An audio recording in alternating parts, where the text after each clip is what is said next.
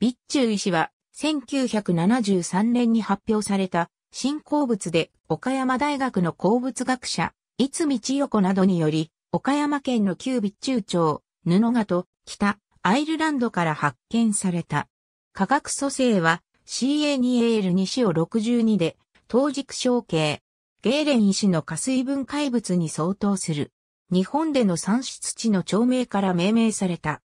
日本と北、アイルランドによる本校の申請はわずか数日の差でなされたため、国際鉱物学連合の新鉱物、鉱物名委員会のマイケル・フライシャー委員長の提案により、最終的に合同チームとして新種記載された。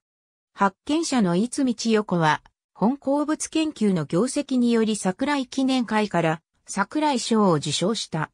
ゲーレン石の分解生成物として常に存在し、多くの場合ベスブ石などを伴う。